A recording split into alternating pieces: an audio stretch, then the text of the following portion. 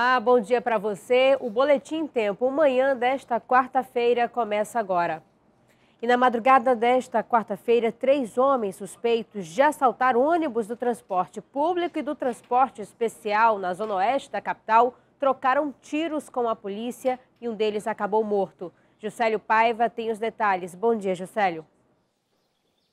Bom dia, Priscila. Foi isso mesmo. O caso ocorreu nesta rua, aqui no Santo Agostinho, na zona oeste de Manaus. De acordo com informações dos policiais militares da 8 SICOM, três homens, eles tentaram assaltar um micro-ônibus do transporte especial aqui na Avenida Rio Negro, quando foram surpreendidos por uma guarnição da 8 SICOM. Houve troca de tiros e, durante o confronto, um dos jovens, identificado como Leandro Santos da Silva, de 20 anos, foi baleado com quatro tiros nas costas e morreu morreu aqui no local. Agora, Priscila, segundo a PM, minutos antes o trio já tinha assaltado pelo menos 20 passageiros dentro de um ônibus do transporte público aqui na zona oeste de Manaus. E o trio, ele vinha sendo monitorado desde o mês passado, suspeito também de terem roubado pelo menos 20 coletivos nessa área da cidade. O caso foi registrado no 19º Distrito Integrado de Polícia. Mais informações sobre esse caso daqui a pouquinho na programação do Agora, a partir partir das 10h50 da manhã. Eu volto com você ao estúdio. Obrigada, Jocely. Ontem um homem foi morto a tiros na comunidade da Portelinha, na zona leste de Manaus. O motivo do crime ainda é desconhecido. Bruno Fonseca tem os detalhes. Pois é, Aldicione Silva de Paulo, de 56 anos, morreu após ter sido atingido por dois disparos de arma de fogo na manhã desta terça-feira. O crime foi aqui na Travessa Curica, na comunidade da Portelinha, no São José 2, na zona leste de Manaus. De acordo com informações de testemunhas, a vítima estava limpando o carro por volta das 11 da manhã, quando foi surpreendida por dois homens em uma moto que efetuaram dois disparos, acertando as costas e a cabeça. Aldicione chegou a ser levado ao João Lúcio, mas não resistiu e morreu. Eu sabia, aí ele estava sentado aqui, com aqui limpando assim. Aí o cara veio na moto, parou bem do lado do carro, aí, aí rodeou por aqui, veio, deu nas costas de pó, aí, aí caiu de cara aí. Aí ele deu um na cabeça. na moto. Levou alguma coisa? Levou nada não. O que, que era, acerto de conta? Não sei. A motivação do crime ainda é desconhecida. Segundo testemunhas, nada foi levado da vítima. Imagens de câmeras de segurança de algumas casas aqui da Travessa devem ajudar a delegacia especializada em homicídios e sequestros a investigar esse caso. Eu volto com você no estúdio. Obrigada, Bruno. E ainda nessa terça, uma mulher foi assassinada a facadas dentro da casa dela, no Nova Floresta, zona leste da capital. O suspeito é um primo da vítima, que já está preso. Paula Gouveia, de 35 anos, foi morta com três facadas nas costas depois de uma discussão com o primo dela, identificado como Marcelo Dias. Aí quando eu fui ver minha tia, ela estava com a mão na, na costa e estava já cuspindo sangue. Ela chegou a falar alguma coisa? Cura teu irmão. A vítima morava nesta casa com o marido, duas enteadas, o filho de um ano e a avó. Segundo familiares, a discussão entre Paula e o primo foi por causa do benefício de aposentadoria da avó deles. Ele chegou com raiva, querendo dinheiro, e nisso a minha tia não tinha, que ela ia receber. Aí ele ficou com raiva, minha tia dizendo que não ia dar o dinheiro para ele, com isso ele ficou com raiva e deu, desferiu três facadas na costa dela. O suspeito fugiu do local, mas foi preso pela polícia. Ele vai responder por homicídio qualificado. O Marcelo ele evadiu-se do local e posteriormente conseguimos fazer a captura do mesmo na, na rua Manacapuru, no Nova Conquista. O caso foi registrado no 14º Distrito Integrado de Polícia. E no interior, mais violência. Quem nos conta tudo direto de Parintins é o nosso correspondente Tadeu de Souza. Alô, amigos do Boletim em Tempo, nosso destaque é policial. Uma criança de 5 anos, ela estava dormindo na sua casa na madrugada de segunda-feira quando foi tirada da sua casa. O caso teve grande repercussão aqui em Parintins, somente ontem chegou ao Conselho Tutelar, chegou também à Delegacia da Mulher. A criança tem 5 anos de idade e por pouco não foi raptada e estuprada por Renato Souza Costa, de 32 anos, que já está preso. Vamos conferir a informação. A polícia de Parintins investiga uma tentativa de rápido e de estupro de uma criança de 5 anos de idade ocorrido na madrugada da última segunda-feira. O acusado é este homem, Renato de Souza Costa, 32 anos.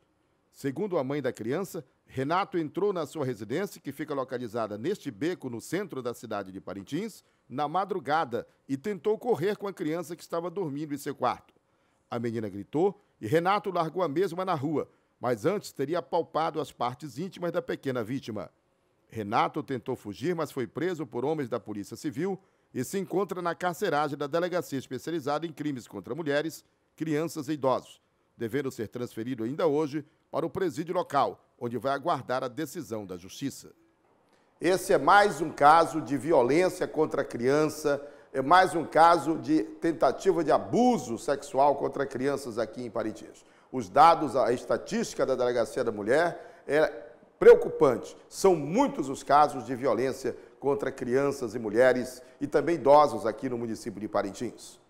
Em Barreirinha, município que fica a 331 quilômetros de Manaus, uma residência foi totalmente destruída na tarde de ontem por um incêndio causado supostamente por um curto-circuito.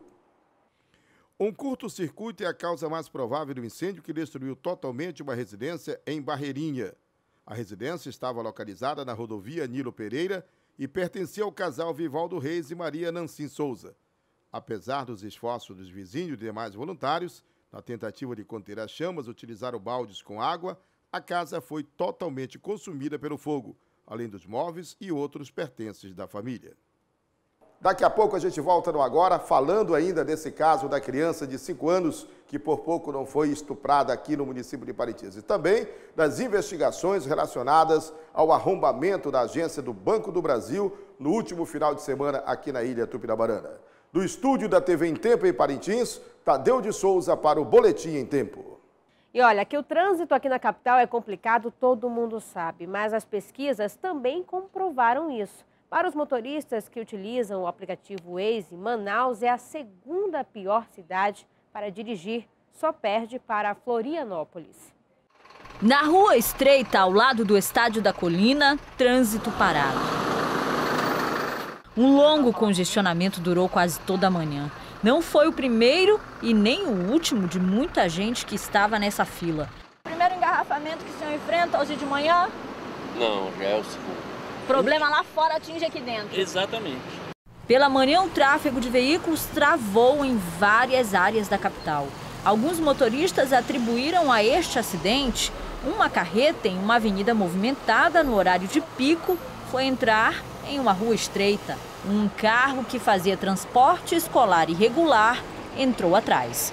Duas crianças ficaram feridas. Na Avenida de Jalma Batista, uma fila de carros se forma em frente a uma escola. E aí já viu. A faixa de pedestres em frente a um shopping também deixa o trânsito ainda pior nessa área da cidade.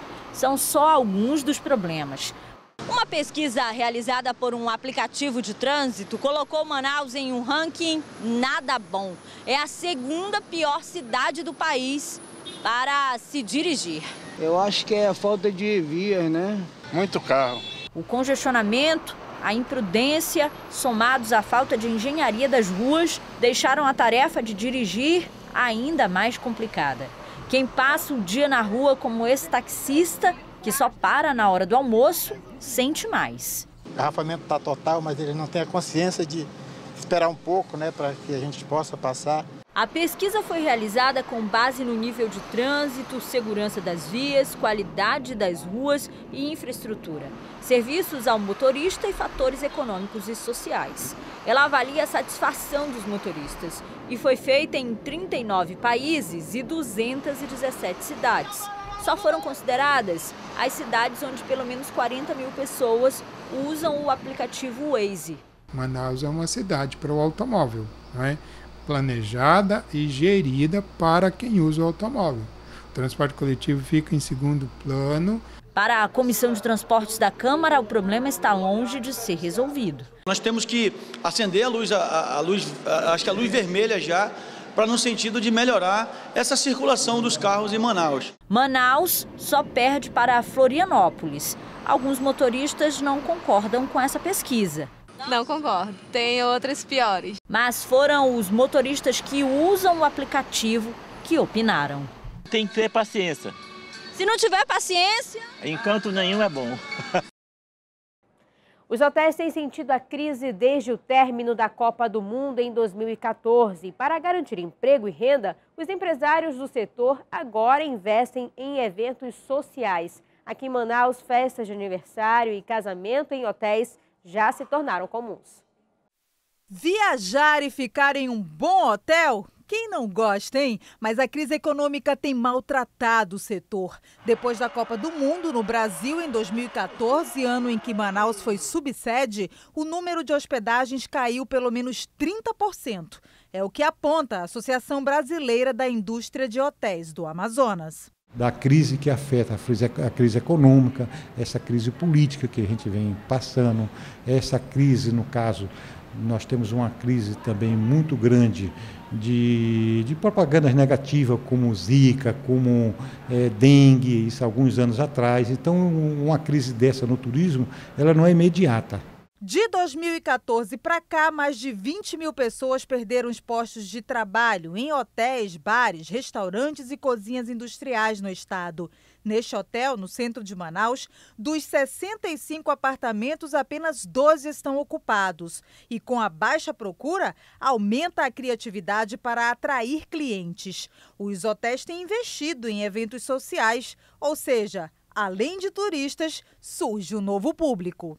Para driblar a crise, muitos hotéis em Manaus têm investido em eventos diferenciados. Esse aqui, por exemplo, na zona centro-sul da capital, tem feito nos fins de semana festas de aniversário e casamento. É, cada evento que a gente realizou chamou um outro. É aquela coisa do marketing realmente boca a boca. É, a gente já realizou aniversários, casamentos aqui no hotel e todos eles nos retornaram com feedbacks totalmente positivos. E isso tem atraído outros clientes, né? Este hotel tem 90% das vagas ocupadas, muitas delas por clientes de negócios. Alguns quartos podem até ser transformados em escritório, próprios para hóspedes desse tipo, com alta rotatividade. Quanto aos eventos, aqui já tiveram pelo menos 10 nessa área da piscina. Sinal de que comemorar mais um ano de vida e trocar alianças, por exemplo, tem de fato garantido emprego e renda em alguns hotéis de Manaus. E o esporte amazonense está de luto. Morreu na noite desta terça-feira o fundador e ex-técnico do América, Amadeu Teixeira. Ele estava internado em um hospital particular de Manaus havia três meses. A causa da morte foi falência múltipla dos órgãos. Amadeu Teixeira ganhou destaque por ficar 53 anos à frente do clube como presidente e treinador. O velório é realizado na Arena Amadeu Teixeira. O Boletim em Tempo Manhã termina aqui. Outras informações às 10h50 no programa Agora e também às 5h20 da tarde no Jornal em Tempo. Até amanhã.